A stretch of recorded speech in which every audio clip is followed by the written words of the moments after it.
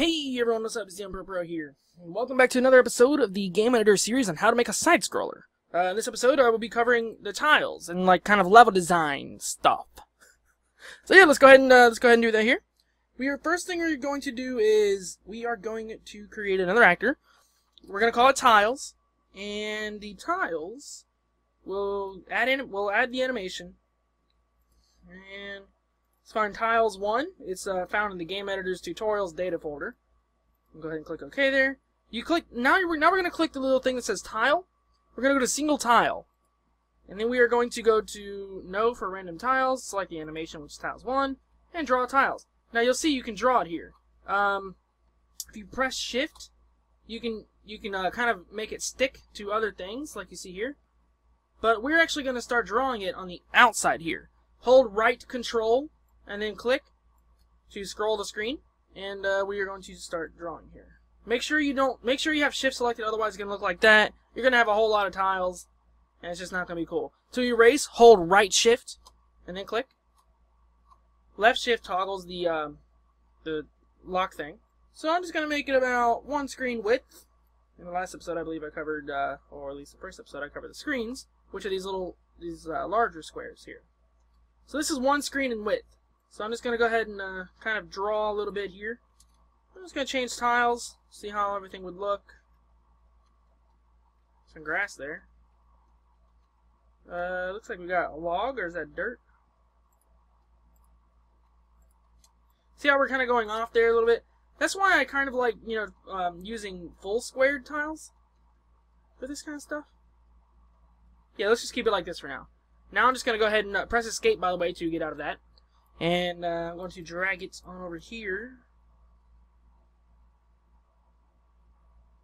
Very bottom left corner, press period. Zoom in. There we go. Yeah, there we go. That's perfect. All right. So yeah, there's the that's how you do the tiles. Now, if you want the player to be able to collide with the tiles, we are going to right-click the player, go to Actor Control, and we're going to give him a Draw Actor effect by going to Events, Add, draw actor. Script editor. So we are going to say y velocity plus equals 0.5. So that's going to make him fall at the velocity of like a half a pixel per frame, but it's going to increase. So the more frames, as you can see there, the more frames you know that he's falling, the he increases by 0.5 per frame. that makes sense. you can play around with that. Uh, the higher means faster, lower means slower. Uh, so now what we're going to do is we are going to add a collision. So collision, we're going to select top side of tiles. Repeat yes. Yeah, you choose yes or no there. Then we're going to say a physical response. So you can zero means he stops completely. Um, one means that he completely inverts his direction, so he'll bounce. You can do 0.5 if you want to make him slowly bounce, and etc. We're going to make him stick. So we're going to say 0 for that. Now we're going to go left or right side of tiles. Yes, repeat. Now we are going to do in the script editor. We're going to go. We're going to we're going to type double yvel equals y velocity. So we're capturing his y velocity.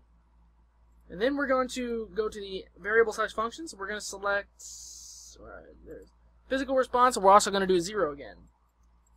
But after that, we're also going to type y velocity equals yvel. So it's going to basically allow him to stop only left and right. So we're going to click uh, close on that. And as you can see, he now collides. And uh, we don't have a jump thing yet. As you see, he kind of hits the wall too. Alright, so now what we're going to do is we're going to uh, make a little jump ability. So let's go ahead and add a key down event. Oops, not draw actor. Go ahead and add a key down event. I guess spacebar would be good. Everyone uses spacebar. We're going to select disable, and we're going to go to add action, and then script editor. Now we're going to go to variables, and we're going to make a variable called jump. So we're going to type jump, and we're going to press enter. So the variable jump, we're going to say if jump, oops, yeah, that's right. If jump equals equals zero, uh, we're going to set jump to one, and we're going to say y velocity equals negative 10. Let's, let's do 12. So he's going to jump uh, pretty high. I'm going to go ahead and click OK. We're going to uh, clear that out, or just close it out. Now we need to do one more thing before the jumping will work. Go to Add, Collision, Top Side of Tiles, repeat yes.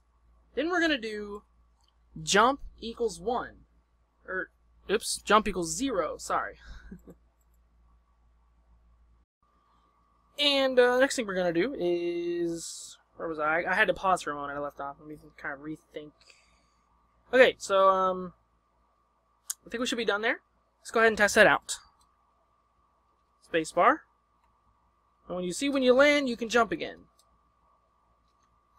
But you'll also notice when you walk off, you can jump while falling. Uh, the way to fix that is you want to go to Draw Actor.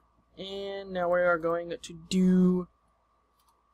If y velocity is greater than or equal to 1.5, let's do it 2. Yeah, let's do 2. Then we're going to say jump equals 1. So if you're falling, you're not going to be able to jump. As you can see, when you start off, you're not able to jump now. Unless you start, unless you press space like right as you uh, begin the game. So yeah, that's that's pretty much this episode. Uh, it's been a pretty short episode, but that's pretty much it. And that's how you, that's how you uh, cover gravity and stuff. So yay! So far, so good. We walk against the wall here. Walk against that wall. And you can see when you uh, get on the edge here. Oh, let's get on the edge. He will slide off slowly. Alright, so uh, thank you guys so very much for watching this episode, and I will see you all later. Don't forget to check out the... What? I lost... Brain fart, man. Thank you guys so much for watching. I'll see you guys later.